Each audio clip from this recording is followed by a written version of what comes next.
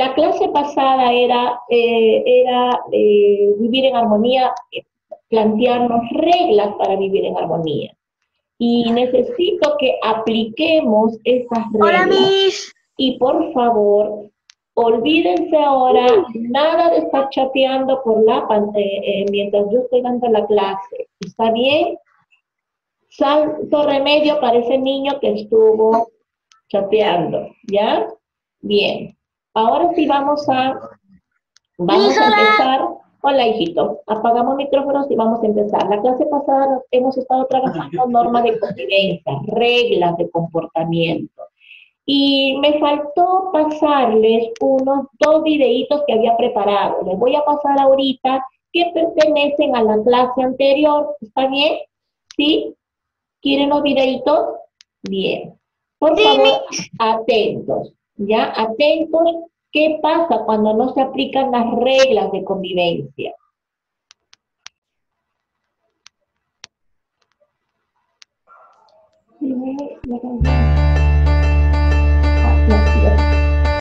La otra. Esa es una canción. Esa es bien bonita. al final la vamos a cantar. Quiero más bien otro.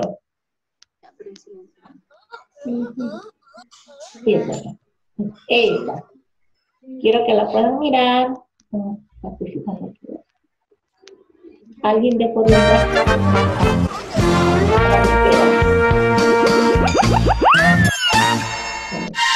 Déjenme contarles una historia.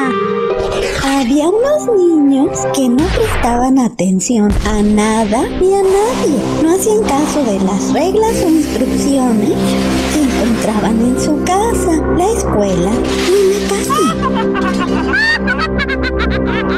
Si veían un anuncio que decía no pasar, ellos se pasaban y por esta razón se habían lastimado varias veces. Cuando veían un anuncio que decía guardar silencio, ellos no hacían ningún caso y hasta se burlaban de las personas cuando les decían que estaban actuando mal. Estos niños creaban mucho desorden, pues cualquier regla que había la ignoraban. Si veían niños formados, para ser ellos los primeros en lugar de guardar su turno momento! ¡Un momento! ¡Un momento! ¿Qué está pasando aquí? No me está gustando esto. ¿Ustedes creen que lo que están haciendo estos niños está bien? Estos niños un día vieron un anuncio que decía, solo los superhéroes pueden pasar por este lugar. Ellos trataban de entrar, pero no podían. Otros niños entraban y salían muy contentos, pero ellos no podían pasar. Ellos se pusieron muy tristes, pues querían ser como los superhéroes.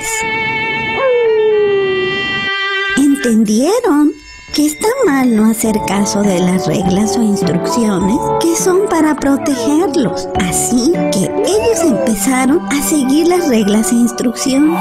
Los niños pronto pudieron entrar al lugar donde solo los superhéroes pueden pasar. Ellos encontraron que es importante obedecer las reglas e instrucciones para mantener el orden y que hacerlo los hace sentirse muy orgullosos de sí mismos.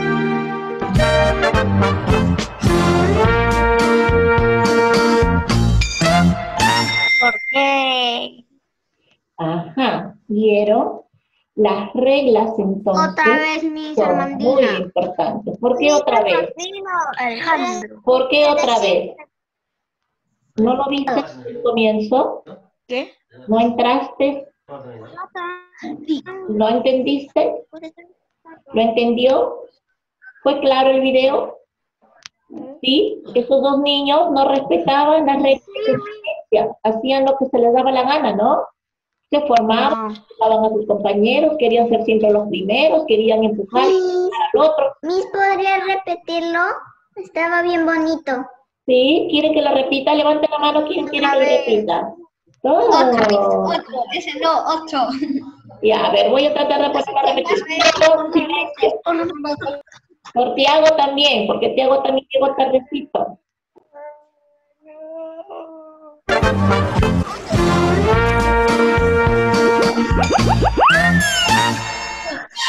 Déjenme contarles una historia. Había unos niños que no prestaban atención a nada ni a nadie. No hacían caso de las reglas o instrucciones que encontraban en su casa, la escuela y la casa. Si veían un anuncio que decía no pasar, ellos se pasaban y por esta razón se habían lastimado varias veces. Cuando veían un anuncio que decía guardar silencio, ellos no hacían ningún caso y hasta se burlaban de las personas cuando les decían que estaban actuando mal. Estos niños creaban mucho desorden, pues cualquier regla que había la ignoraban. Si veían niños formados, los empujaban para ser ellos los primeros en lugar de guardar su turno. ¡Un momento! ¡Un momento! ¡Un momento! ¿Qué está pasando aquí? No me está gustando esto. ¿Ustedes creen que lo que están haciendo estos niños está bien? Estos niños un día vieron un anuncio que decía, solo los superhéroes pueden pasar por este lugar. Ellos trataban de entrar, pero no podían. Otros niños entraban y salían muy contentos, pero ellos no podían pasar. Ellos se pusieron muy tristes, pues querían ser como los superhéroes entendieron que está mal no hacer caso de las reglas o instrucciones que son para protegerlos. Así que ellos empezaron a seguir las reglas e instrucciones. Los niños pronto pudieron entrar al lugar donde solo los superhéroes pueden pasar. Ellos encontraron que es importante obedecer las reglas e instrucciones para mantener el orden y que hacerlo los hace sentirse muy orgullosos de sí mismos.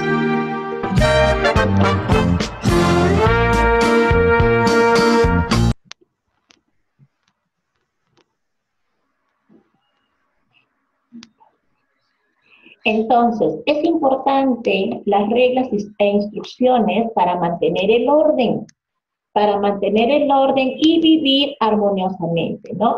Cuando nosotros, cuando nosotros eh, eh, damos instrucciones, damos reglas, es para ustedes mismos, para que aprendan a vivir, para protegerlos, como decía allí la, niñita que hablaba, ¿no?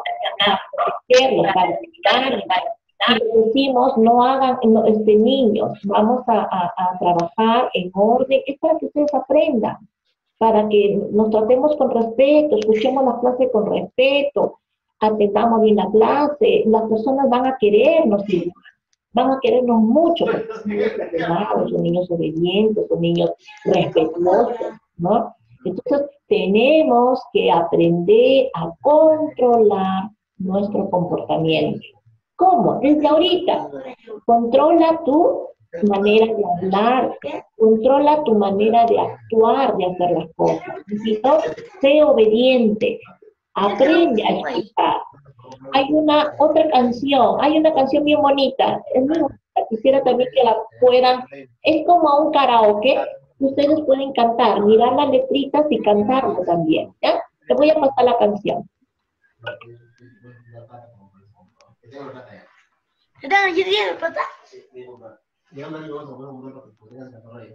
Ok, ok. Yo no me compré nada más, solo quiero Atiende, Armandito. Armandito, vamos a, vamos a cantar ahora. Vamos a ver cómo hacer.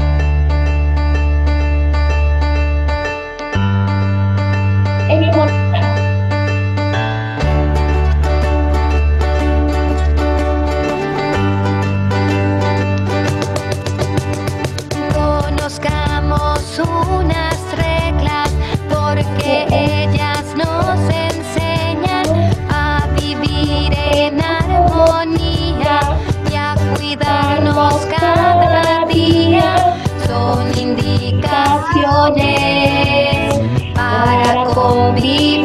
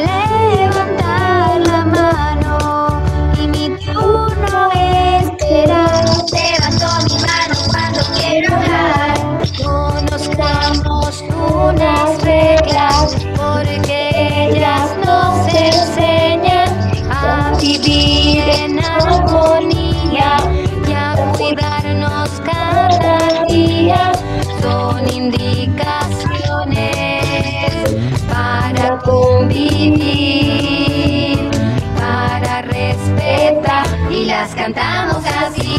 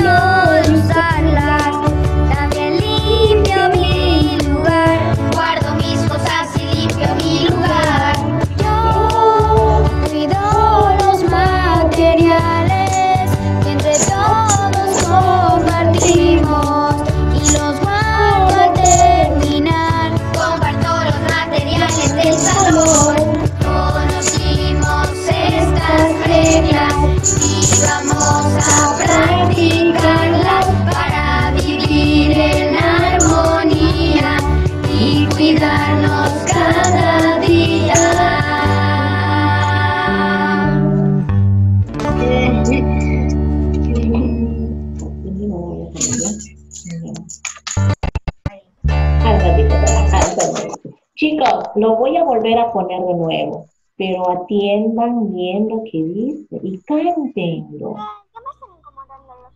Cántenlo. ¿Ya? Cántenlo para que puedan ustedes, yo quiero que ustedes lo aprendan. A ver, Emanuel, vamos a cantar. ¿Ya? Todos. Que me encanta la alegría de Emanuel pero vamos a cantarlo todos, hijitos, Armando, Diego, Tiago, canten, ahí está la letra. Es una canción acerca de las reglas de convivencia, cómo debemos de vivir en armonía, ¿sí? Y lo vamos a aprender, esta canción la tenemos que aprender. Si es posible, todos los cursos de educación de, de personal social lo vamos a poner. Así como ponemos canciones en educación cristiana, también esta que sea nuestra canción de personal social. ¿Está bien? A ver, nuevamente para que puedan cantarlo, porque yo sé que hay algunos niñitos que les ha gustado y la van a cantar, la van a aprender. Es el tema de hoy.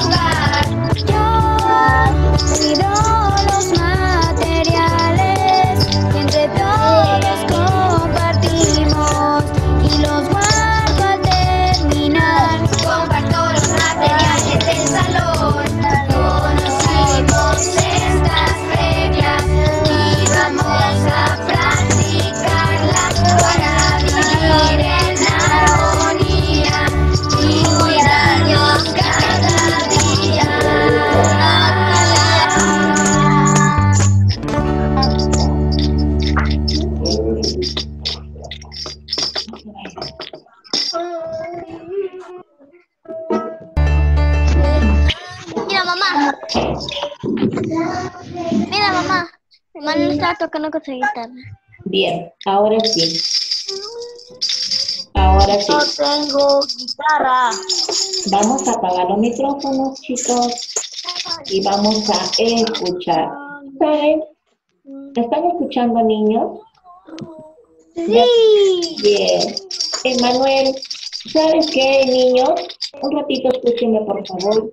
Mientras estábamos, estábamos viendo el videíto de la canción, me, me hizo recordar muchas cosas bonitas que vivimos el año pasado.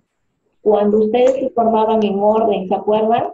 Y el señor instructor nos felicitaba. ¿Se acuerdan que el señor instructor nos felicitaba porque dice, muy bien, este este primer grado, ¿no? este segundo grado, al comienzo también, qué ordenaditos pasaban al salón. Uno Pero, pero Diego me quiere robarme mi sitio del primer lugar. A ver, Jaciel, vamos a escuchar. Pero cuando, pasaba en el salón, yo veía el orden y ahí podía destacar, podía mirar algunos niñitos que pues sí, querían correr y ganar y ser, el primero. Pero miren, qué bonito la, recibir la felicitación del señor instructor cuando ustedes pasaban. Cuando ustedes pasaban ordenaditos atrás. Oleita, apaga, micrófono, apaga el micrófono, todos, apaga el micrófono de todos.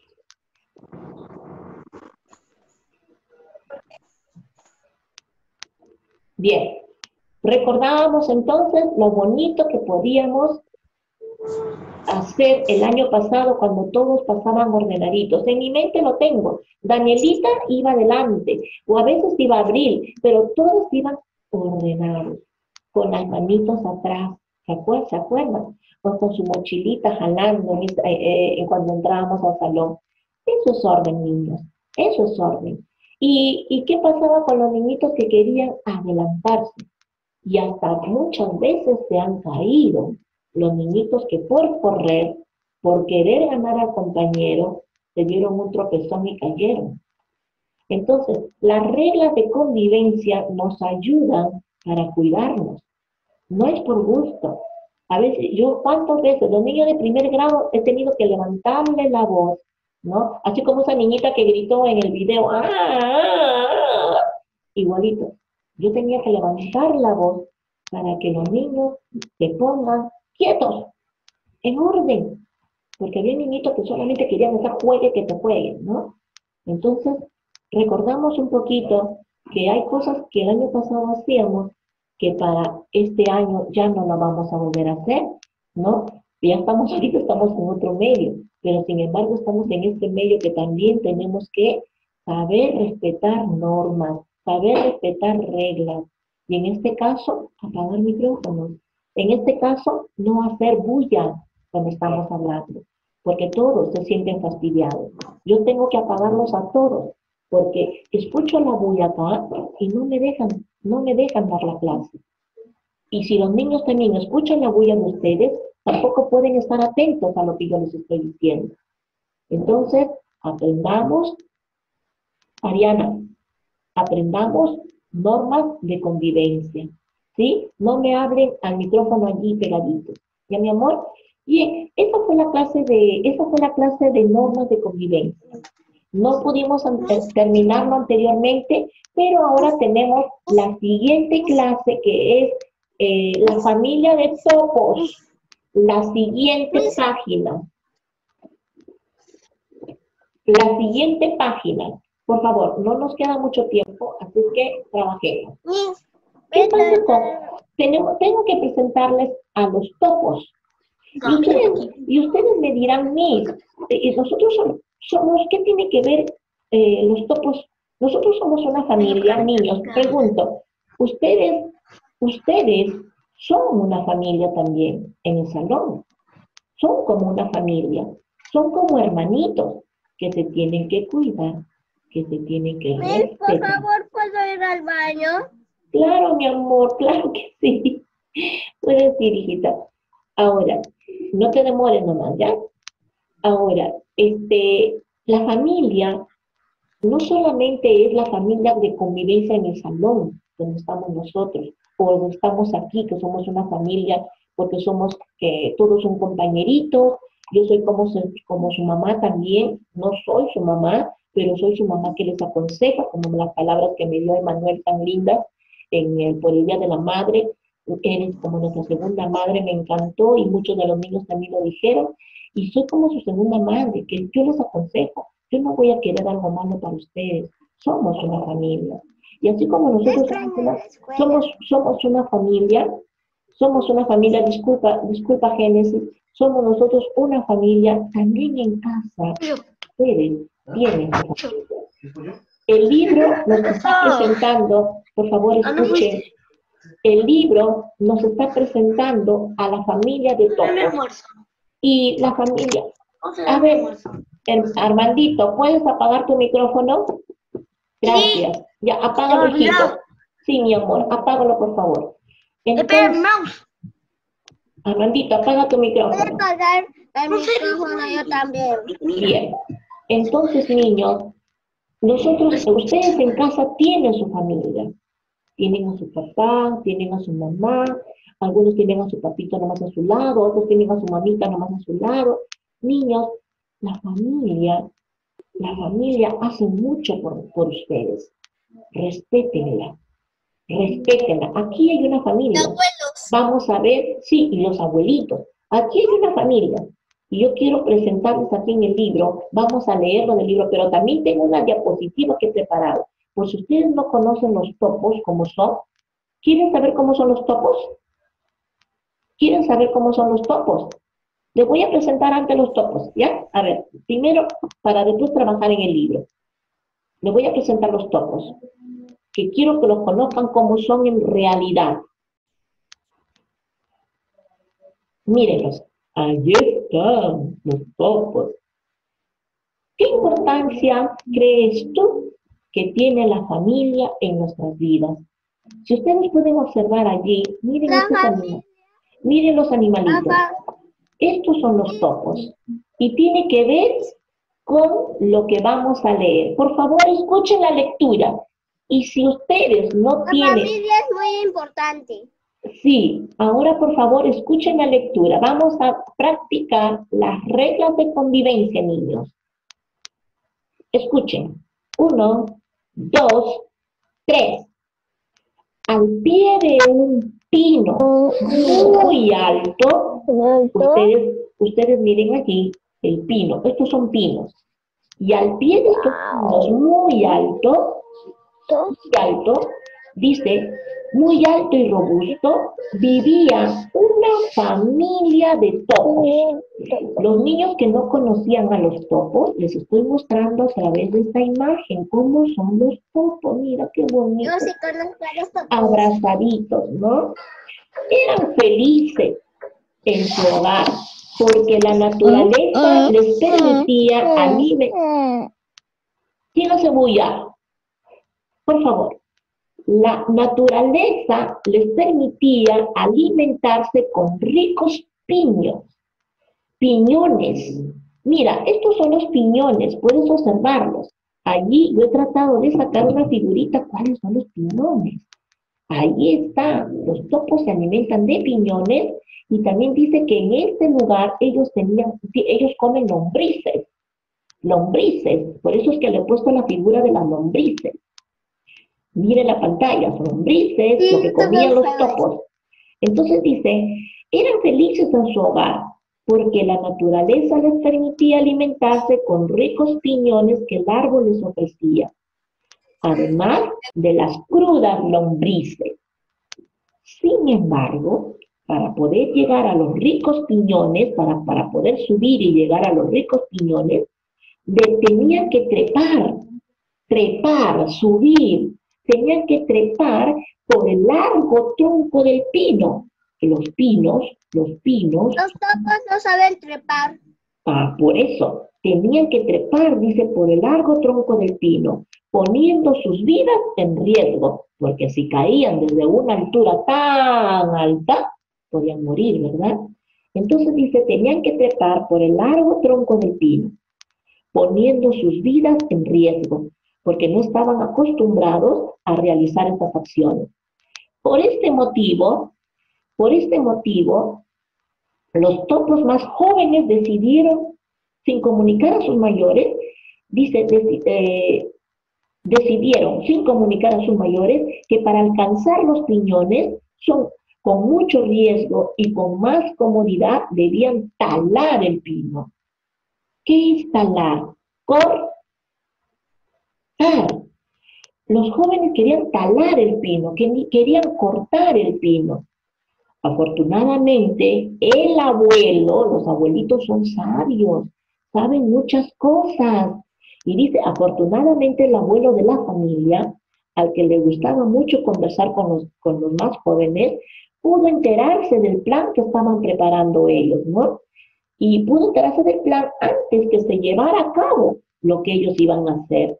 Y les explicó de manera empática, les dijo, si talan el pino, habrá piñones para este invierno y tal vez para la primavera.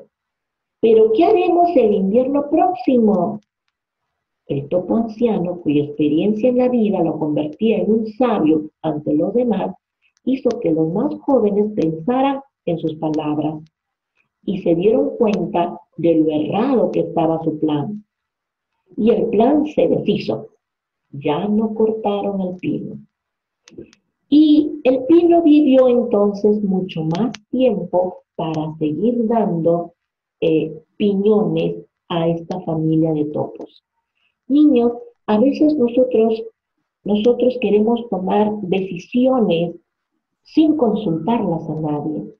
En la familia tenemos a veces que consultar a alguien, preguntar a alguien, a papá o a mamá o al abuelito, las cosas que, que estamos pensando hacer. No podemos nosotros hacer decisiones y hacerlas ahí mismo. Ustedes tienen una familia, una familia con quien comparten sus cosas, una familia con quien conversan, ¿no? Conversan, pie- este, platican en la hora del almuerzo, conversen. Cuéntenle, cuenten todos sus problemas, hijitos, cuenten todos sus problemas que tienen. Si hay alguna, alguna, alguna, algo que les está molestando, cuenten a su familia, cuenten a su papá, cuéntenle a su mamá lo que les está pasando. No se queden calladitos, porque los- el, consejo, el consejo de los grandes es un consejo sabio. En este caso, el abuelito aconsejó muy bien a los jóvenes. ¿Qué hubiese, qué hubiese pasado, Yanilita? Tú que has, estado bien atenta, te estoy poniendo a reiniciar tu audio. ¿Qué hubiese pasado si hubiesen cortado el pino? Hubiera pasado que ya no tendría más, más champiñones. Claro, muy bien, Yanilita, te felicito por tu participación. Génesis, Génesis que me está levantando la manito. ¿A quién te dieron consejo? ¿A quién, quién, quién le dio el consejo de no cortar los pinos? Los, po- lo- los, los pinos. A ver, Génesis. El abuelo. El abuelo. El abuelo da consejos sabios. Las personas mayores tienen consejos sabios. Aquí, por ejemplo, yo tengo, yo tengo a mi mamita, la mamá de mi esposo, que ella es una persona muy sabia y ella me, me- me- da consejos y yo le atiendo para pod- y las cumplo. Los jóvenes a veces quieren hacer lo que quieren, lo que se les da la gana. No, pidamos consejos a los grandes, pidamos consejo a los, consejo a los mayores. Entonces, niños, aquí la familia de topos nos hace ver que nosotros tenemos que pedir consejos, tenemos que ser una familia unida, ¿no? Una familia... A ver, a ver, las, las personas pueden, las, las personas adultas pueden agarrar de los árboles las, los que tienen la fruta. Podemos hacerlo también ayudando con de, a los a los topos. Ah, sí, mi amor, claro. Si la, si hubiese la manera, ya apaga tu micrófono, hijito, que se está escuchando todo lo que hacen en casa, ¿ya? Bien, perfecto. Muy buena observación lo que me dice este niñito, que, claro, ustedes, la familia puede ayudar también a los topos a jalar, pero estamos viendo un modelo, una historia para que nosotros reflexionemos. Las historias que nos dan, apaguen el micrófono. Hay un niño que tiene el micrófono prendido. Armandito, no sé quién está, se escuchas a los platos que se lavan. Por favor, apaguen el micrófono. ¿Qué ibas a con los videos? Entonces, apaguen los micrófonos, niños. No voy a continuar si no apagan los micrófonos.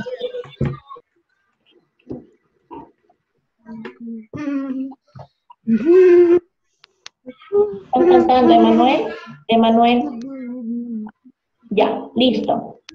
Emanuel, ¿No? sí. Hay alguien que está cantando ahí, que le escucho su voz.